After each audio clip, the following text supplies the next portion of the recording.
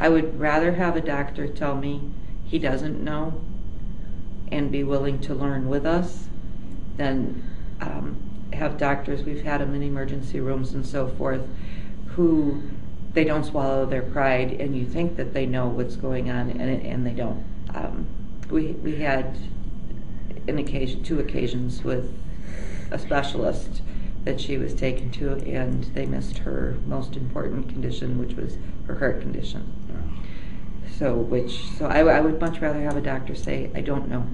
I need to research it more. And like Dr. Sino, I can bounce off ideas off of him and, and he's fine with that and he'll look it up, he'll absorb it, he'll, yes, no, and uh, send us where we need to go, or in most cases, he's pretty able to handle what she needs. Well, all of the, all of the mothers that I know, they have a primary care physician that they, that's who they go to first, and that doctor refers out, and that's why it's important. You have to have that one doctor that's going to oversee that she's getting everything, and the other girls are getting everything that they need.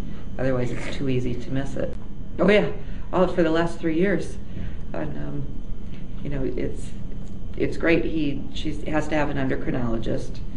Um, that and she has to have an endocrinologist that knows Turner syndrome, not just diabetes. So he's great at working with what the endocrinologist says, you know, and in, in turn, the endocrinologist listens to what he says because the endocrinologist doesn't know all of the other things that a family doctor knows.